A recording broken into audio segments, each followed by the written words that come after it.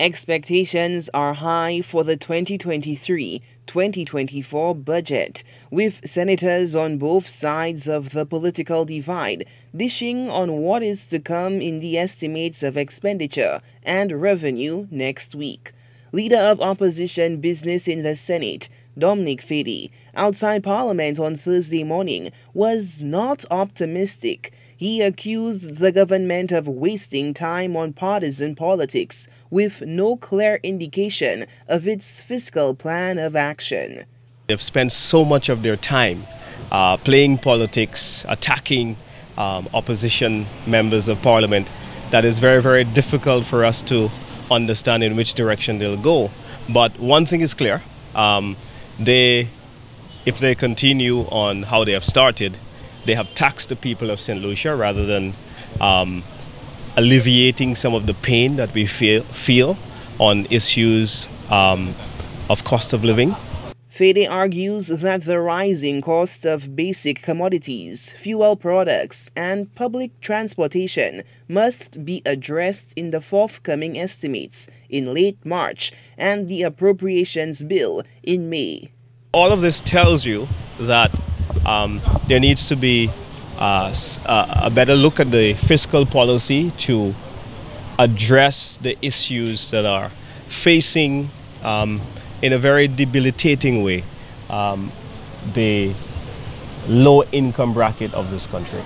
On the other hand, leader of government business in the Senate, Gideon Ferdinand, is upbeat about the upcoming budget. He defended what he views as the government's reasoned approach to addressing the myriad of socio-economic challenges in a post-pandemic world. Really to empower um, our people and to create opportunity.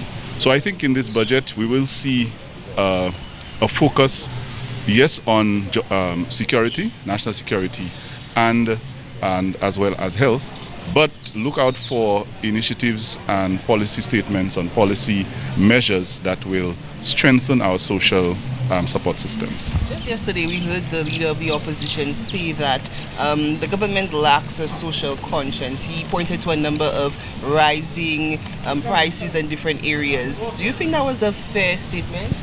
Given the context in which we operate, I don't think so. I think we, we have to acknowledge that we, we have inflation and we have issues. However, everything that the government has done thus far is really helping to cope. I mean, look at how we've subsidized bread, for example, the Ministry of Commerce. Look at the initiatives we've taken in agriculture, in tourism, and all of those measures I mentioned really are in, to, to help to cushion the blow. We've subsidized almost everything in this country. So I think you have to find a balance. You can't pay for everything, but if you provide support, you can help people cushion the blow. Um, I don't think it's fair to say that the government does not have a social conscience. I think what the government is doing is being responsible and trying to uh, provide the support wherever is, is available and necessary. The Standing Finance Committee of the House of Assembly will meet behind closed doors to review the estimates at 10 a.m. Tuesday, March 28, 2023, before the presentation later in the day at 2 p.m. by Prime Minister and Minister for Finance, Philip J. Pierre.